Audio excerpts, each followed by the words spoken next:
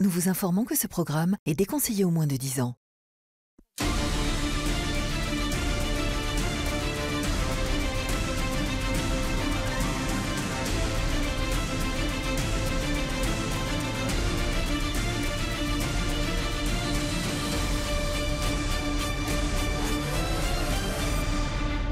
Bonsoir, les histoires que nous allons vous raconter auraient pu vous arriver.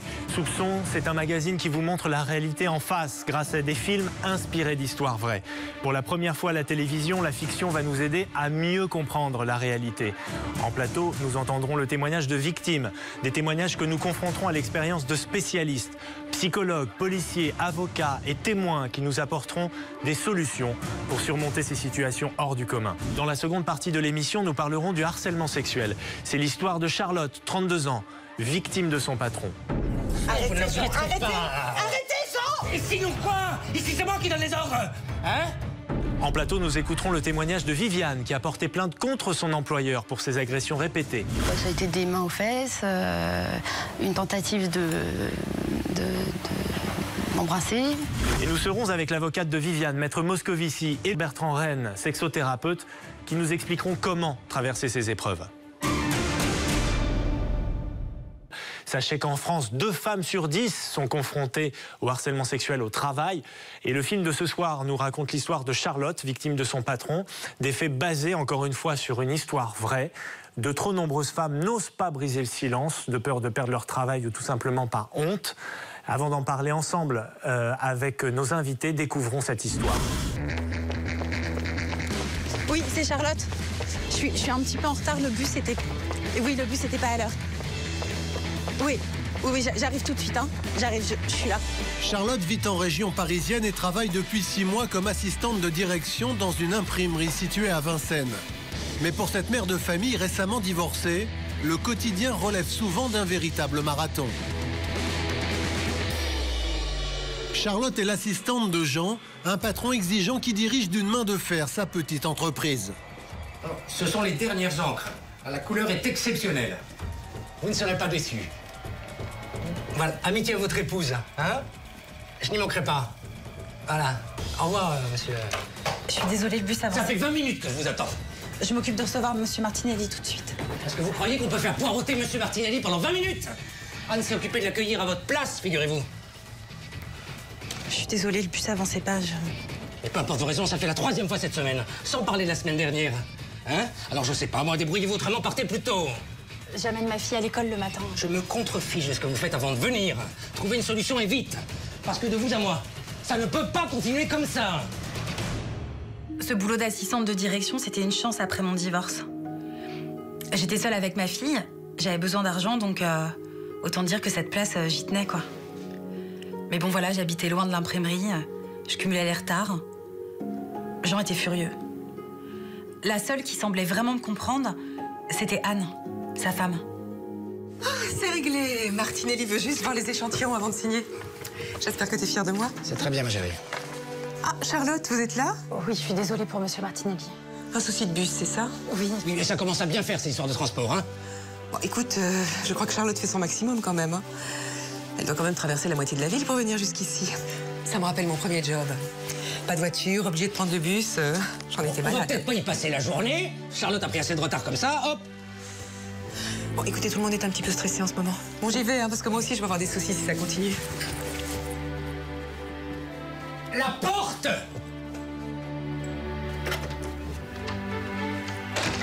Anne, c'était c'était la responsable commerciale de l'imprimerie. J'étais euh, j'étais admirative de la façon dont elle gérait les affaires de la société. Et puis euh, et puis elle était toujours de bonne humeur. Elle euh, elle raisonnait toujours Jean, elle, euh, elle temporisait ses sautes d'humeur qui étaient assez fréquentes.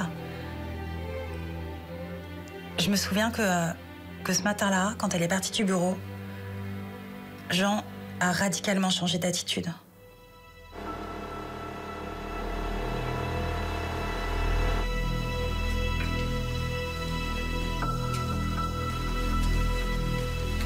Charlotte, euh, je voudrais des excuses, je me suis un peu emporté.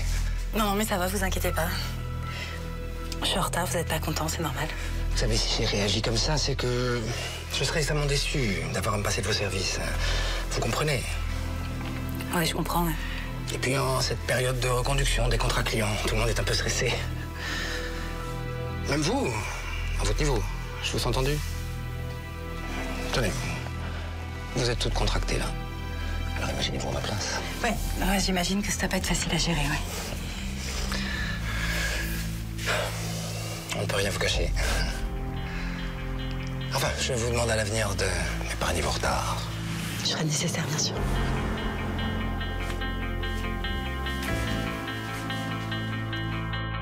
J'avais en face de moi un homme qui, dans la même matinée, pouvait être le plus odieux des patrons et tout d'un coup le plus prévenant.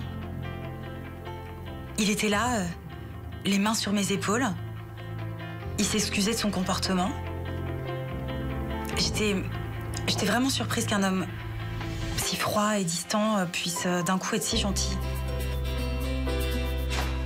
Au quotidien, Charlotte peut compter sur le soutien d'Émilie, sa meilleure amie. Depuis son divorce, Charlotte a trouvé en elle une véritable confidente. Ah, c'est gentil d'être venu me chercher en tout cas. Ah, les transports, j'en peux plus. Et puis avec ces talons, ça devient une torture. Tu peux remercier Jean-Luc, hein Je me dis que c'est un beau salaud quand même. Non seulement il s'en va en te laissant toute seule avec Chloé, et en plus il a le culot de se barrer avec la voiture, quoi. Ah, remue pas le couteau dans la plaie, s'il te plaît. Puis je te rappelle que c'était à lui, cette voiture, quand même. Ah, et ta fille, c'est pas la sienne non plus. Il a pas cherché à la récupérer, elle. Ah, merci de me rappeler que je me suis mariée avec un lâche. Tiens, en parlant de Chloé, j'ai un service à te demander. Si c'est pour assassiner ton ex, je suis partante. Arrête. non, j'ai besoin de quelqu'un pour l'emmener à l'école pendant quelques jours, là. En ce moment, c'est le défilé des gros clients à l'imprimerie et euh, je dois prendre le bus plutôt que d'habitude. C'est si important que ça Bah, je suis arrivée trois fois en retard, là, cette semaine. Mon patron, il fait la tête, là. Il m'a dit clairement, euh, je serais très déçue d'avoir à me passer de vos services. Je te fais pas un dessin. Ah, t'imagines si je perds mon boulot? C'est la catastrophe. hein. Je fais quoi? Je retourne chez ma mère avec la petite? Pff, Rien que d'y penser. Eh mais attends, j'ai peut-être une idée. C'est ma sœur qui a mis sa voiture en vente il y a 10 jours. Je crois que c'est une bonne occasion. Elle en veut environ euh, 3000 euros. Non, non, laisse tomber, je vais avoir euh, 2000. Bah, puis là, la banque acceptera pas un nouveau prêt avec celui en cours déjà. Attends, et ton super patron qui peut pas se passer de tes super services, il peut pas te faire une avance? Non, non, non, il acceptera jamais. Bah, il a tout à gagner lui aussi, est-ce que tu sois à l'heure hein Ouais, Bah ouais. ouais t'as peut-être raison. hein. Il est déjà 6 heures, faut que j'aille chercher Chloé à la garderie. C'est bon, je te dépose. Bon, j'appelle ma sœur ce soir pour lui demander si sa voiture est toujours en vente, ok Je sais pas ce que je ferais sans toi. Ah, moi je sais. Tu serais une super piétonne. oh, j'ai la flemme. Charlotte est enthousiaste à l'idée de pouvoir s'acheter une voiture et mettre fin à ses retards au bureau. Elle espère convaincre son patron de lui faire une avance sur son prochain salaire. Vous avez fini les contrats de M. Martinelli? Oui, oui, je les ai sortis en deux exemplaires comme vous me l'avez demandé. Et voici votre café, deux sucres et un nuage de lait. Euh, de vous à moi. Non seulement vous étiez à l'heure ce matin, mais vous êtes particulièrement séduit le responsable de la société Litex. Je pense qu'à sourire un bon café, on suffit à son bonheur. Entre autres, vous êtes particulièrement élégante aujourd'hui. Votre robe vous voit merveille.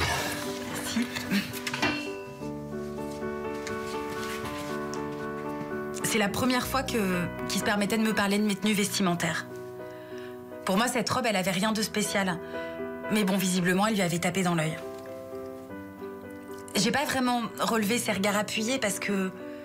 Bah parce que j'étais flattée. Moi, je prenais ses remarques comme, euh, comme des compliments. Il avait l'air d'une bonne disposition, alors. euh, alors j'ai sauté sur l'occasion. Excellent. Vous avez même pensé aux clauses de confidentialité.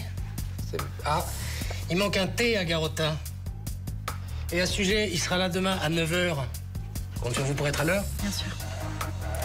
Ah, D'ailleurs, puisque vous faites allusion à mes retards, j'ai peut-être trouvé une solution. Solution? Un miracle, vous voulez dire? Qu'est-ce que c'est? Venir en hélicoptère tous les matins Vous n'êtes pas très loin. Tout dépend de vous, en fait. Voilà, j'ai l'opportunité d'acheter une voiture à un prix très raisonnable. Et euh, ça me permettrait d'être à l'heure. Mais en voilà une idée de génie. Mais en quoi ça dépend de moi Bah, j'aurais besoin d'une avance sur salaire. Une avance. Tiens donc.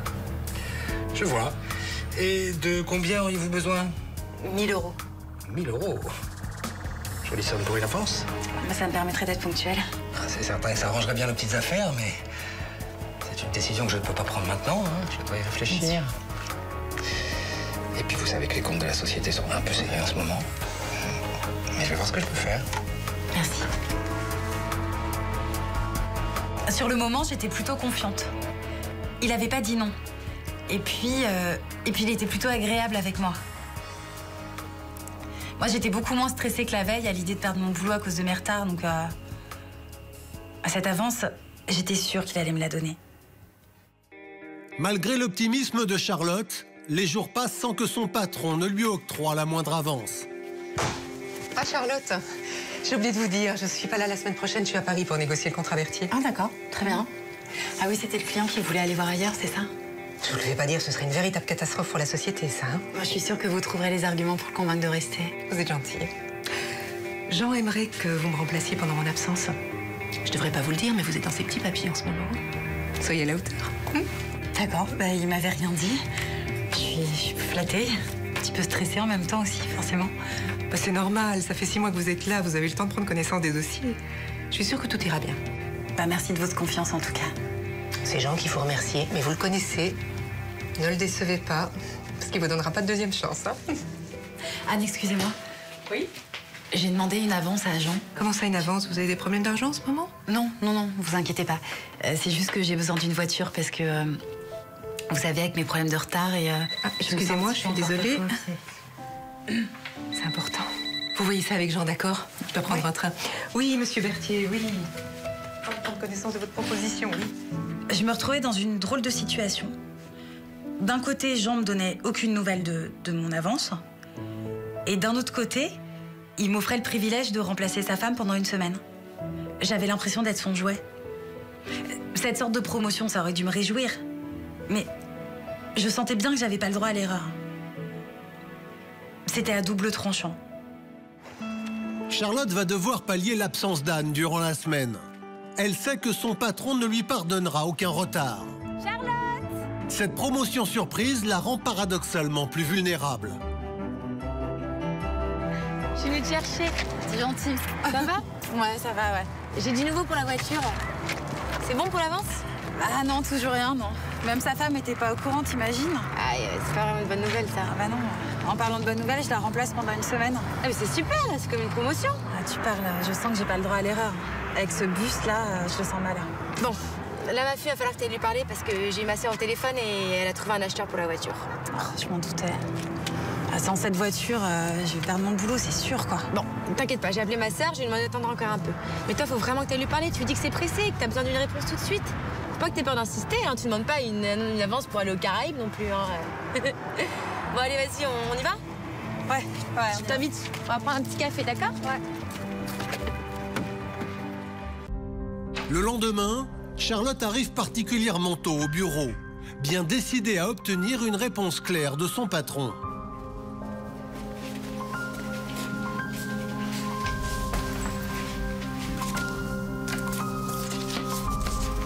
Que ces quelques fleurs accompagnent la réussite de cette semaine.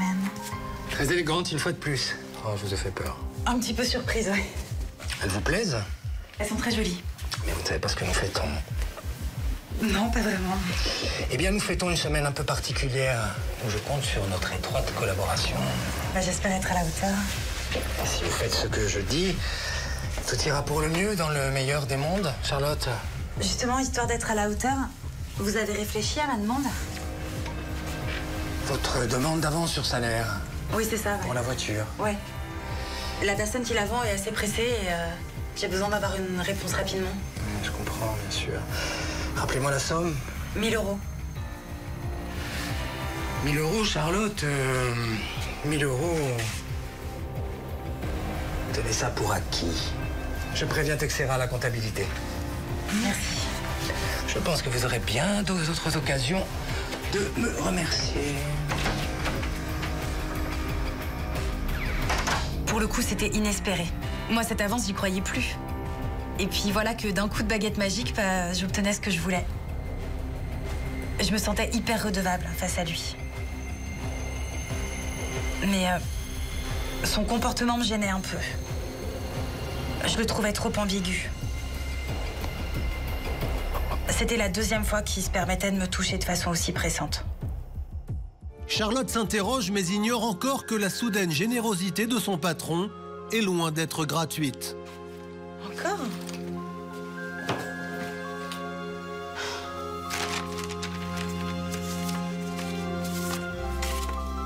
Prévision de cette excellente journée à vos côtés, Jean. Ah, voilà, je vous attendais. C'est gentil pour les fleurs, hein, mais... euh, Dites rien, c'est mon plaisir. Je constate que vous êtes chaque jour un peu plus resplendissante. Merci. Euh, toute autre chose, j'ai une urgence ce soir avec le dossier Elitex. Il va falloir que vous restiez tard. Ah, mais c'est que ma fille peut pas rester toute seule. Je suis certain que vous allez trouver quelqu'un pour la garder. Et puis on en profitera pour reparler de votre avance sur salaire. L'avance, ouais. Bon, c'est un petit peu compliqué de trouver quelqu'un comme ça dernier moment, mais... euh, Ne me dites pas qu'au moment où j'ai besoin de vous. Dire que je pensais que vous seriez à la hauteur. C'est dommage. Bah attendez, je vais m'arranger.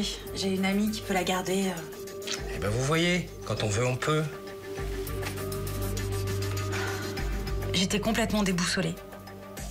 D'abord le bouquet de fleurs. Et puis Jean qui me demande de rester tard pour reparler de mon avance. Je comprenais pas pourquoi. Il m'avait déjà dit oui. Je me sentais hyper mal. Je pouvais pas refuser, alors... euh, Alors bah, j'ai appelé Émilie en catastrophe pour qu'elle s'occupe de ma fille.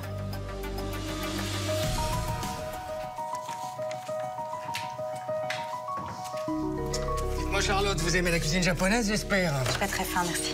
Très bien. Alors, le dossier Elitex, on a pas mal de modifications à apporter à celui-là. Ouais, je vous ai sorti les trois derniers mois avec le détail de leur commande. La dernière porte sur 20 000 exemplaires. Eh ben, il faut me changer le montant hors taxe et vous en envoyer un exemplaire à Texera. Ok. Au début, tout se passait bien. Jean était concentré sur son travail, moi sur le mien. Je me sentais pas très à l'aise pourtant. Je... J'avais juste en tête de lui, de lui demander de me confirmer pour l'avance, puisque c'était pour ça que je restais. Mais, euh, mais c'est lui qui a pris les devants. Et les 4 par 3, vous les facturez hors taxe. Euh, code 37 650. 650. Voilà. Monochrome. Voilà, très bien. C'est dernier. Il est tard, Jean, là, faut que je rentre. Ah, vous inquiétez pas, je vais vous ramener. Non, non, vous embêtez pas, je vais rentrer. Mais ça m'embête pas le moins du monde. Non, non, mais vraiment. Bien au contraire. Qu'est-ce Mais que vous faire, vous ne Arrêtez, Jean, arrêtez, pas. arrêtez, Jean Et sinon quoi? Ici, c'est moi qui donne les ordres Hein? Pourriez au moins vous montrer reconnaissante 1000 euros, c'est pas rien pour une avance. On est tous les deux très fatigués. Je... On reparlera de votre avance. euh, Prenez vos affaires, je vous raccompagne.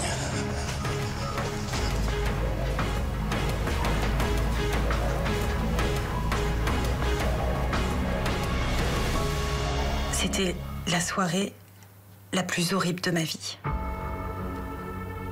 Et le pire, c'est que je me sentais coupable. Coupable de lui dire non. Je me suis demandé comment il avait pu croire que, que j'allais coucher avec lui. Est-ce que, est-ce que j'avais été trop séductrice, trop, trop ambiguë? J'en étais malade. Charlotte, choquée, rentre chez elle. Émilie, sa meilleure amie, ignore encore tout de la tournure des événements.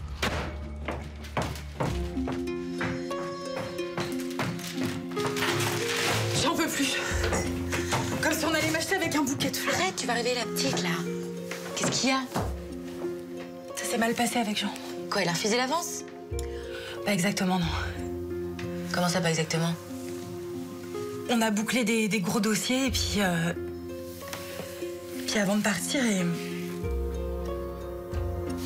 il a essayé de me caresser les seins. Quoi? Tu te rends compte? Mon patron, quoi.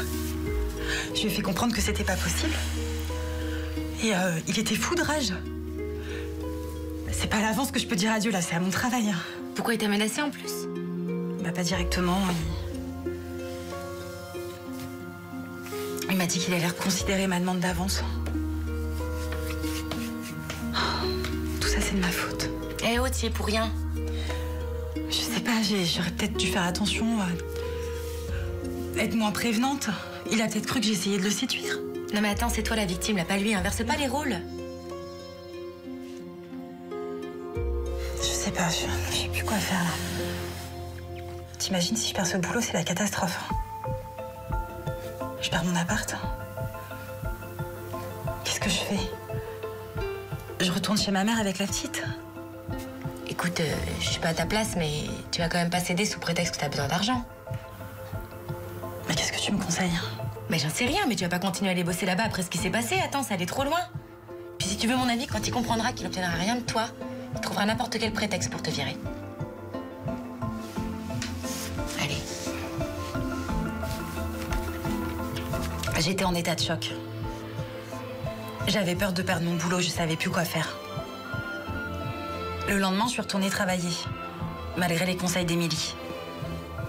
Bah, je m'étais convaincue qu'il s'en voudrait, et puis qu'il s'excuserait de son comportement. Je comptais vraiment sur le retour de sa femme pour que tout rentre dans l'ordre.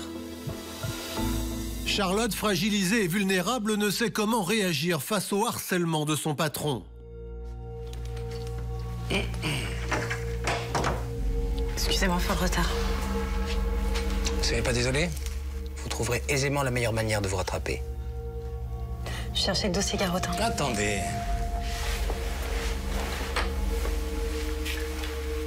Je vais à nouveau avoir besoin de vous ce soir. Je compte sur votre présence, n'est-ce pas Charlotte, je trouve fort dommage que vous ayez fait l'économie l'une de vos si jolies robes. Pour moi, c'est tellement agréable. Et pour la clientèle, c'est toujours du meilleur effet.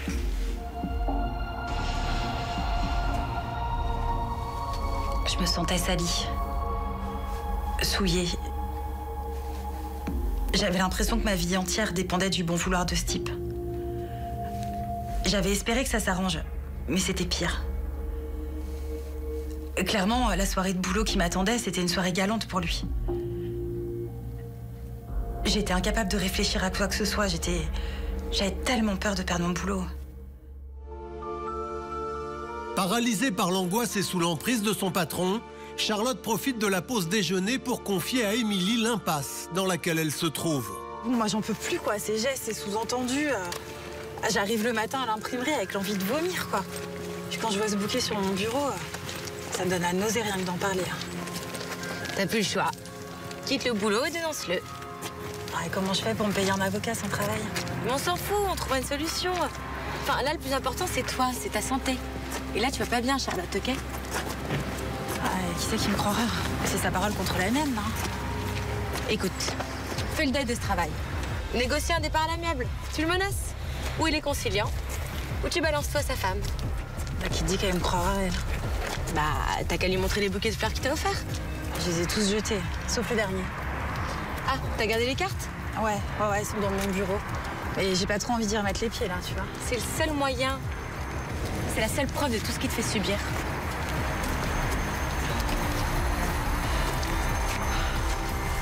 Tellement peur. Ouais, je comprends. En réalité, j'étais incapable d'affronter Jean. J'avais honte de l'avouer à Émilie. J'avais qu'une seule envie, c'était fuir. Malgré la peur, Charlotte se résout à rejoindre son lieu de travail. Comment la jeune femme va-t-elle se sortir de cette situation? Va-t-elle accepter de céder aux avances de son patron?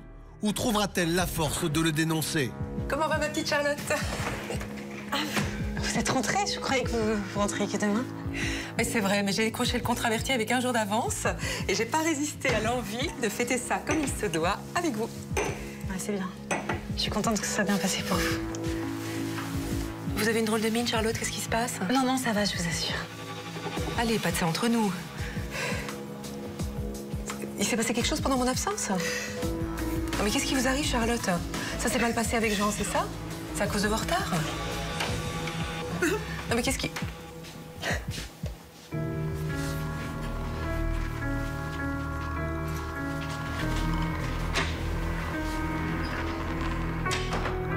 J'étais à deux doigts de tout raconter à Anne.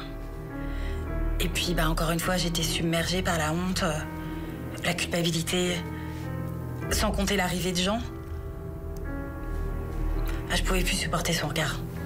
Il me faisait peur. J'ai préféré fuir. Charlotte a prévenu Émilie du retour inopiné de la femme de Jean. Sa meilleure amie est encore la seule à qui elle ose parler du harcèlement dont elle est victime. Coucou. Salut. Ça va? J'ai pas pu lui dire, Émilie. Elle est arrivée dans le bureau toute joyeuse. Elle savait pas euh, que c'est devenu un enfer pour moi depuis qu'elle est partie. Non mais fuir c'est une chose, mais, mais pas le dénoncer, c'est comme si tu le protégeais. Non seulement tu vas perdre ton travail, tu vas te retrouver sans argent, et en plus tu le couvres. Ah, t'imagines Le choc pour elle quand elle va l'apprendre. Ouais, mais à un moment il faut penser à toi. Et aux filles qui vont tomber sur ce cinglé. Sans Émilie, j'aurais jamais trouvé la force de faire face. J'ai décidé d'aller au bout. C'était le controversé, donc tu vois, j'étais vraiment heureuse par rapport à ça. Parce que c'est vraiment. L'Arlésienne est de retour. Anne, parler seule à seule Elle est occupée.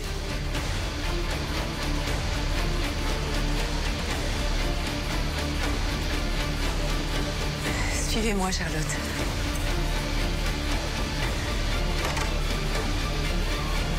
Jean comprend à cet instant que la partie est finie. Je suis allée au commissariat. J'ai porté plainte. Et euh, la première chose que j'ai faite en sortant, c'est d'aller à l'imprimerie. La tête haute. Charlotte a su trouver la force de faire face à son patron et mettre un terme à ses agissements coupables. Jean, poursuivi en justice pour harcèlement sexuel, a été condamné à trois ans de prison avec sursis et 45 000 euros d'amende.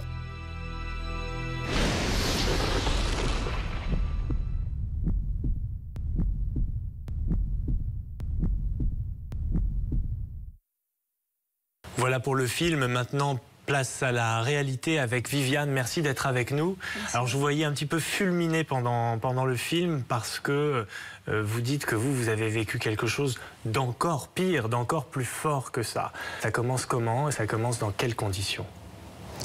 Ça commence dans des conditions en fait euh, très particulières. Enfin, c'était au travail. hein. Dans les deux mois qui ont suivi le, mois d'essai, euh, a commencé le, le harcèlement en fait. C'était un travail de secrétaire que j'ai trouvé par le Pôle Emploi. Donc, il faut bien euh, comprendre que c'était un emploi que vous attendiez depuis longtemps, dont vous aviez absolument besoin Ah oui, complètement. pour, euh, pour vivre et subvenir à, à tous vos, vos besoins les plus élémentaires. Voilà, j'étais dans un, une, un instance de, de- de séparation. Euh, J'avais un enfant de deux ans et je cherchais en fait un toit pour pouvoir obtenir la garde de mon fils. Et Vous sortiez d'une période de deux ans de, de chômage. Au tout départ, vous vous sentiez plutôt bien dans cette nouvelle entreprise. Pour vous, c'était Oui, un nouvel horizon qui s'ouvrait. Tout à fait, tout à fait. Euh, Je, je voyais ça comme un- une, une sortie de secours à mes problèmes, à mes difficultés euh, d'ordre personnel. Et donc, du coup, ben, j'ai saisi un peu la main qu'on me tendait de travailler euh, pour, euh, voilà, pour, voilà, pour avoir une situation de, stable, stabi- de stabilité pour avoir la, la garde de mon fils. Voilà. À quel moment avez-vous senti que les choses, les rapports avec votre patron euh, évoluaient? Ben, elle devenait de plus en plus familière, euh, fam- familière. Donc, euh, c'est-à-dire qu'il prenait euh, beaucoup d'aise avec moi. C'est-à-dire bon, un coup il me voyait, un coup il me tutoyait. Après, il voulait que je le tutoie. J'ai pas voulu parce que bon, c'est pour moi c'était mon employeur, donc je voulais pas instaurer une familiarité comme ça à ce niveau-là.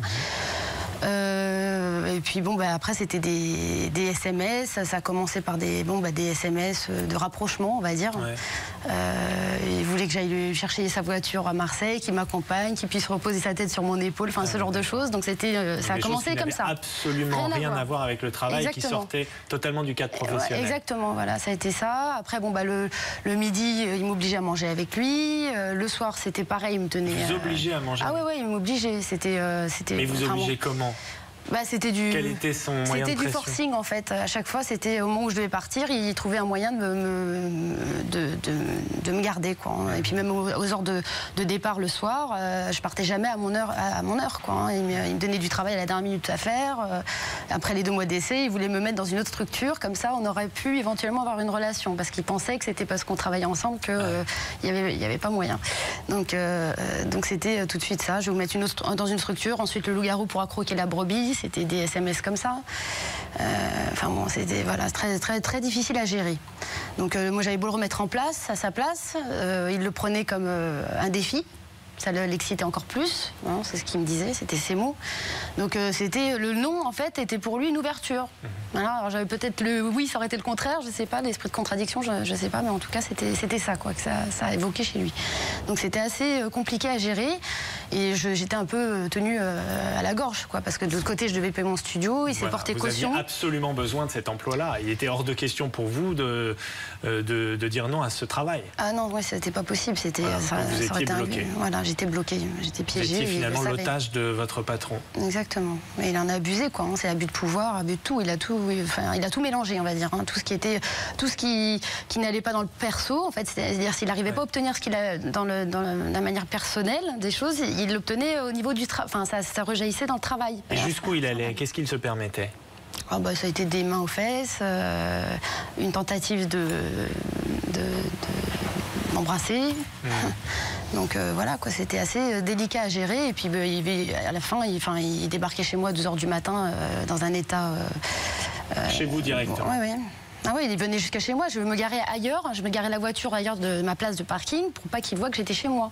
Ça, ça en venait à ce point-là, quoi. Je, je, je- je sortais, je regardais dans le rétro voir s'il me suivait pas, et parce qu'il me mettait dans les SMS qu'il m'espionnait. Quand j'allais euh, à des endroits, il m'espionnait apparemment. voilà. Et Donc quelle était votre euh, réponse Quelle était votre réaction quand, quand il... euh, quand vous receviez ces SMS-là, ou que vous le voyez dans votre rétroviseur, ou débarquait chez vous sur le seuil de votre porte, qu'est-ce que vous lui disiez? Bah, euh, en fait, euh, quand il a débarqué chez moi, euh, ouais, moi j'ai dit je, je vais, je vais dormir, il est tard. bon, déjà, toute la soirée, il m'a envoyé des SMS parce qu'il était dans un, un endroit chic de Paris. Enfin, moi, il pensait à moi, alors il m'envoie des SMS. Enfin, bon, toute la journée. J'ai dit, moi, au dernier verre, vous me zappez. Parce que. voilà. Et en fait, à 2h du Vous matin. lui dites, vous lui écrivez, vous Oui, lui renvoyez ah un oui, SMS J'ai écrit en disant au dernier verre, vous me zappez, quoi, parce que là, c'est pas plus possible, quoi. Et puis euh, ensuite, bah, il débarque chez moi, euh, il m'appelle d'en bas. Si vous, si, si vous t'ouvre pas, je fais un scandale dans la résidence. Alors euh, bien sûr, euh, en panique, qu'est-ce que je fais? Bah, Je suis obligée d'ouvrir, quoi. Donc voilà. Et puis euh, tout de suite, il s'est affalé sur le lit. Enfin bon, et puis il a dormi. Il a passé la nuit. Ah, mais moi, j'ai j'ai pas fermé l'œil de la nuit et euh, il a dormi chez moi toute la Mais nuit. il y a un point commun avec le, le film, c'est qu'il s'est aussi porté caution pour euh, votre appartement, c'est bien ça? Voilà, il s'est porté caution en fait trois jours. Euh, juste parce qu'il faut des garanties pour les propriétaires. Voilà. Dans le film, c'est une voiture, pour vous, c'est un appartement.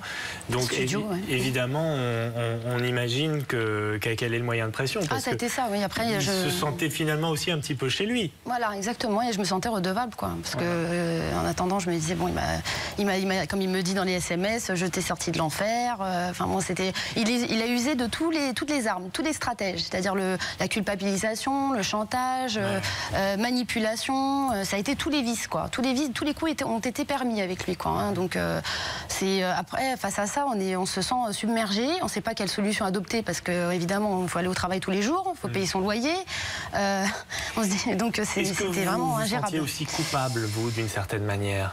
Euh, coupable, on va dire que je me remettais en question. Qu'est-ce que j'ai mis Euh, Pourtant, je suis pas du genre à mettre des décolletés euh, très provo- enfin, ouais, provocants. Euh, je m'habille très classique.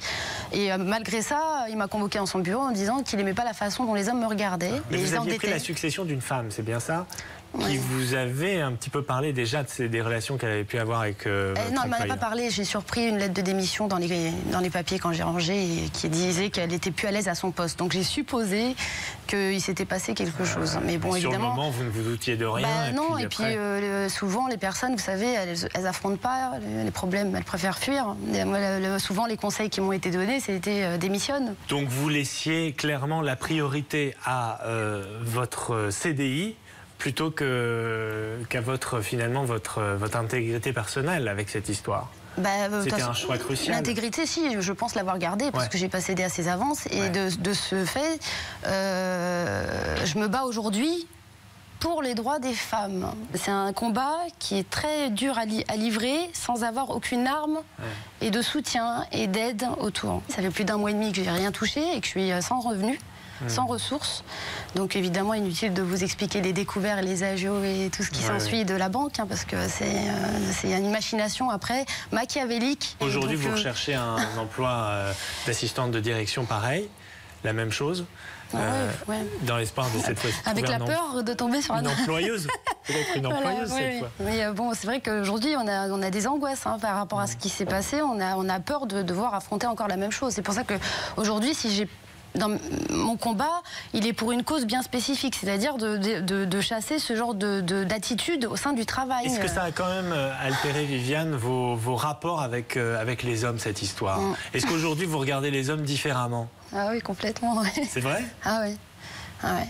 ouais. C'est-à-dire? Bah, C'est-à-dire qu'on n'a pas la même psychologie, on n'a pas la même. euh, bah, on dit bien, hein, les hommes viennent de Mars, les femmes de Vénus. Non, on n'a pas du tout la même, la même approche des choses, Ouais. euh, la même sensibilité aux choses. Euh, je veux dire, pour, pour la personne d'en face, ça va évoquer quelque chose, un geste que vous faites, alors que pour vous, ça n'a aucune évocation. Enfin, il y a tout le côté, le paramètre. Donc vous êtes sur la défensive. de- À chaque fois qu'un Bah homme voilà, vient vous aborder, vous êtes sur ah la oui, défensive. complètement. Toujours. Méfiante, méfiante et défensive. Ah oui. Bah oui, ça devient des armes de, de protection. On est obligé de se protéger là face à un monde de, de jungle là, parce que là c'est ce qui se passe. Là, ça devient vraiment la jungle au niveau, au niveau milieu du travail. Mhm. Tout est permis, tous les coups sont permis, tous les vices sont permis. Juste pour euh, clarifier les choses, aujourd'hui, vous avez porté plainte? J'ai porté plainte, euh, voilà, pour euh, harcèlement moral et sexuel. Oui. Donc euh, ça a été euh, requalifié. Donc avec des preuves quand même, j'imagine. Vous avez gardé les SMS. Ah bah oui, oui. ça a été du travail, hein, parce que moi finalement j'ai fait un travail de, de policier, de détective et de policier. Ça Merci beaucoup en tout cas d'être venu et merci pour ce témoignage. Nous allons poursuivre notre discussion avec des spécialistes que vous connaissez pour la plupart très bien puisqu'il y a euh, Maître Moscovici qui est votre avocate Mhm. et puis Bertrand Rennes qui est un sexothérapeute. On y va? Très bien, je vous remercie. Voilà, nous sommes euh, redescendus de, notre estrade donc après, euh, après ce témoignage très fort hein, de Viviane. Alors je ne vous présente plus euh, Maître Martine Moscovici et puis Bertrand Rennes qui est sexothérapeute qui va nous apprendre, qui va nous expliquer comment surmonter ces, ces choses parfois très difficiles à traverser. Alors première question pour Martine Moscovici. La- Viviane a porté plainte, d'accord, et ça n'a pas produit ses effets. Pourquoi? Viviane a porté plainte à un moment où euh, malheureusement le Conseil constitutionnel a abrogé la loi sur le harcèlement sexuel, ce qui a fait qu'à l'époque, il y a environ 2000 femmes victimes euh, qui ont vu leur procédure anéantie. Et elle a porté plainte dans ce laps de temps. Ce qui fait que sa procédure n'a pas pu se poursuivre pour harcèlement sexuel et qu'elle a été poursuivie pour appel malveillant. D'accord. Donc Donc voilà pas ce qui- du tout euh, la même qualification. Ce n'est pas la même qualification, mais on n'a pas pu revenir sur le harcèlement sexuel, même si à l'audience, bien évidemment, cela a été abondamment évoqué. Et maintenant, il y a un vrai délit de harcèlement sexuel. Et ce délit est, euh, en fait, la définition, c'est d'imposer à quelqu'un de façon répétée des agissements et paroles à connotation sexuelle qui induisent euh, euh, que la personne se sente dans une situation. euh, Donc c'est exactement le cas de, de ah, Viviane à l'espèce. fait- C'est tout à fait son cas, oui. D'accord. Les SMS, tout ce genre de choses sont des, sont, sont des choses interdites par la loi. Ah, tout ce qui est euh, de façon répétée, qui a une connotation sexuelle, est interdit par la loi, bien évidemment. Il faut là aussi faire la différence avec un compliment, parce que si on dit à une Oui, personne une fois, J'allais vous le dire. vous avez une jolie robe, Si on ne peut plus complimenter les femmes, voilà, euh, ça devient nous, difficile. nous sommes en France, pays de la galanterie, il ne faut pas l'oublier. Ouais. Donc un compliment, ça passe, mais le fait de harceler, ça ne passe absolument pas. Et alors, c'est quoi la limite justement? À quel moment, à quel degré d'envoi de, à- à- combien ça se quantifie le nombre de SMS Non, c'est- en fait si la personne se sent mal à l'aise euh, avec X compliments trop appuyés et puis qui sont des compliments avec une connotation sexuelle, avec une envie d'arriver à une relation sexuelle, effectivement là on est dans le harcèlement. Bertrand, racontez-nous, parce que vous, c'est votre, quasiment votre quotidien de rencontrer des, des- des femmes comme, euh, comme Viviane, des, des- des victimes. Euh, Est-ce que l'hi- l'histoire de Viviane est représentative de, de- des femmes que vous rencontrez Elle est re- représentative d'une situation particulière, la sienne, avec la loi qui s'est arrêtée, etc. Et puis elle reste avec euh, l'impossibilité de faire valoir ses droits. On a toujours ce problème-là, de toute façon, euh, l'avocate pourrait le, pourrait le dire, euh, d'être connu, puisqu'il faut des preuves, et les preuves sont parfois très difficiles à, à trouver ou à, ou à apporter. Donc un harceleur, c'est d'une certaine manière un manipulateur. Euh, Oui. Quelles sont les techniques utilisées Je vais je ne vais pas donner les techniques là, mais euh, il faut savoir que les les, euh, Par les mesure de harceleurs- prévention, Ouais, hein, ouais, uniquement. tout- tout- uniquement. Mais les harceleurs sont des pervers, des pervers de toutes sortes. Alors il y a plusieurs degrés. Il y a les Ça, c'est bien illustré dans le film. Alors, ah, oui, oui. euh, bien illustré, en tout cas, ça, ça montre de- certains mécanismes. Euh, il y a les pervers narcissiques, mais ce ne sont pas les seuls. Il y a les pervers euh, phalliques qui détestent les femmes. Il y a les pervers euh, machiavéliques. Ça, ce sont les plus subtils, ceux qui, qui, qui vont réussir à ne pas aller en justice. Ben, Ceux-là sont très forts. Euh, et euh, ce qu'on peut voir... Et donc, et dans le pour- cas de Viviane, ce serait quelle catégorie Alors, parce que là, c'est quelqu'un qui euh, envoie des SMS, donc il laisse des traces finalement de, de son forfait. Un pervers narcissique, s'il a été qualifié comme ça, j'ai pas assez d'éléments pour moi. pouvoir le qualifier. C'est moi qui ai analysé sur, euh, j'ai trouvé sur internet euh, le, la définition de érotomane hein. et le dé- franchement Oui. le mot lui convient euh, vraiment ça il rentre vraiment dans ce Oui, profil là. parce que l'érotomane pense que l'autre Oui, euh, c'est aime. exactement ça, voilà. Donc il est persuadé de ça, donc euh, il comprend donc pas que ça puisse pas. Donc il n'entend pas le non, il n'entend voilà. pas le refus, mais tous les pervers n'entendent pas le non et le refus. D'ailleurs, ils le veulent pas et ils mettent en- tout en place et les moyens de pression, euh, soit le travail, c'est facile puisqu'il y a l'emploi, il y a euh, le salaire, il y a, enfin, il y a tout un Les tas de croissants. Les cadeaux, les croissants dans la voiture. Racontez-nous Ça, ça. ce sont les moyens. et puis, Ce et puis sont les même, moyens. euh, il voulait que je vienne, euh, il m'envoyait des SMS, euh, venez en string au travail à m'apporter des, enfin, des choses euh, insensées. Donc là, on parlait de, de à quelle mesure on peut définir le harcèlement. Ça, c'est du harcèlement. Enfin, je veux dire, Vous êtes un jour retrouvé avec des croissants dans votre voiture, Ouais, c'est bien voilà, ça ouais, un dimanche, ouais. Donc ça veut dire qu'il avait Et forcé qu'il est, la... il est gentleman. En plus, il dit euh, que je, je le remets à sa place alors qu'il est gentleman de m'amener des croissants dans ma voiture. C'est moi qui qui Bon, suis on pas lui- on lui reconnaissante. laisse- On lui laisse ses croissants. C'était très nettement du harcèlement sexuel, très très C'est- nettement. C'est extrêmement intrusif. Enfin, euh, il pénètre carrément l'univers de la, On intime peut- de la dire- voiture. on peut le dire comme ça. C'était même, je crois qu'il a touché votre, poitrine- euh, votre poitrine. Les, les fesses. Les fesses. les fesses, donc là on passe dans l'acte sexualisé. C'est une zone euh, sexuelle, les fesses, donc euh, on passe. euh, D'ailleurs, ça, ça aurait peut-être pu être qualifié. Oui, d'agression sexuelle, parce que dès qu'il y a un contact sur les zones euh, érogènes, eh bien, on n'est plus en harcèlement sexuel, on est en agression sexuelle. Oui. Et là, les peines, les sanctions sont beaucoup plus fortes. Mais comment vous les prouvez ça? C'est toujours pareil. On hein. peut, on peut jamais le prouver, c'est toujours la parole de l'un contre la parole de l'autre. Mais justement, nous, avocats, on peut vous aider à monter un dossier, à savoir que la personne, souvent, euh, se sera confiée à une amie et on aura un témoignage, que la personne ira voir un psychologue ou un psychiatre qui établira son état post-traumatique et ça nous aidera à monter un dossier. On peut tout à fait l'aider à constituer euh, son affaire pour que cela arrive devant les tribunaux et que euh, la victime soit euh, reconnue en tant que victime et l'agresseur, eh bien, à ce qu'il soit déclaré coupable. Et, et fréquemment, vous avez des, des, euh, des victimes qui vous disent peut-être que ça vient de moi, peut-être que c'est de ma faute. Est-ce que ça vous arrive, ça, d'entendre ça? Oui, oui, oui, tout à fait, pour la, la problématique de la culpabilité. J'ai Euh, été trop séductrice, euh, Tout simplement. les- ma jupe était trop courte, mon maquillage trop, trop à ce niveau-là, marqué. à ce niveau-là, ça, ça touche, euh, si vous voulez, les mécanismes touchent à des, des choses qui sont profondes dans la personne, euh, profondément inscrites, et euh, j'appelle ça des failles.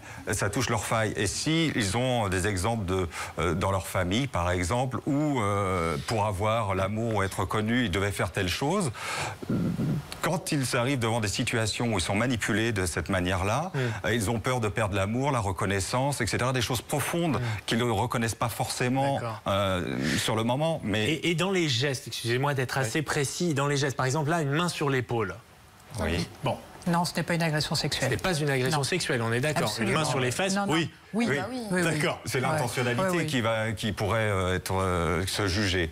Euh, si on met les mains sur l'épaule et qu'on lui ajoute un discours et qu'on lui ajoute... euh, Donc euh, c'est très subtil finalement oui. la frontière. Ouais. C'est vraiment le point de vue de la victime qui Tout compte et qui est évalué. Et puis, il faut voir si ce geste, par exemple sur l'épaule, est fait pour obtenir une faveur sexuelle. S'il est fait pour obtenir une faveur sexuelle, effectivement, on est dans le cas de harcèlement. Hmm.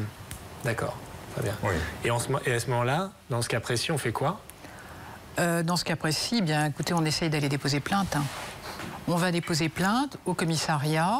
On insiste pour que le- la plainte soit prise et que ce ne soit pas une main courante, puisqu'une main Mais courante n'a pas de en valeur. général, enfin, on n'imagine pas d'aller déposer plainte tout de suite. D'abord, il y a, y, y un nom qui est prononcé vis-à-vis du harceleur, entre guillemets. Pas toujours. On se rend compte que les victimes, non, elles n'arrivent n'osent pas. Elles n'osent pas. toujours dire non, et elles ne supportent. Mais dans leur façon d'être, elles démontrent à l'agresseur qu'elles ne souhaitent pas la continuation de ce harcèlement.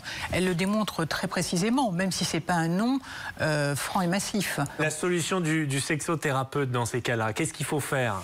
Bah, déjà, Qu'est-ce oui. qu'il faut euh, dire Déjà s'opposer. Il y, a des, il y a des personnes qui ne se feront jamais agresser parce qu'elles disent non euh, déjà dans leur manière d'être ou euh, immédiatement dès qu'elles voient qu'il y a quelque chose qui va les entraîner dans quelque chose qu'elles ne veulent pas.